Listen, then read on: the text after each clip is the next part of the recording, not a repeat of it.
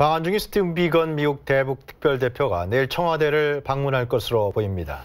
또 한미 워킹그룹 회의를 열고 남북의 주요 현안을 논의할 것으로 보입니다. 최효진 기자입니다. 한국을 방문한 스티븐 비건 미 국무부 대북 특별대표가 오늘 카운터파트인 이도훈 외교부 한반도 평화교섭 본부장과 조찬 회동한 것으로 알려졌습니다. 우리 정부의 대북 식량 지원과 북한 단거리 발사체 발사 등 최근 한반도 정세를 논의한 것으로 보입니다.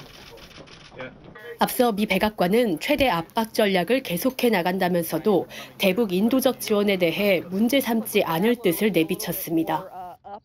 If South Korea moves forward on that front, we're not going to intervene. 비건 대표는 내일 강경화 외교부 장관을 예방한 뒤 한미 워킹그룹 회의에서 식량 지원 등 남북 주요 현안을 논의할 것으로 보입니다. 내일 오전에 먼저 장관님 예방이 있을 예정이고요. 그 이후에 바로 한미 워킹그룹 회의가 있을 예정입니다. 특히 청와대를 방문해 정의용 국가안보실장이나 김현종 국가안보실 2차장 등과 만나는 한편 김현철 통일부 장관도 면담할 전망입니다.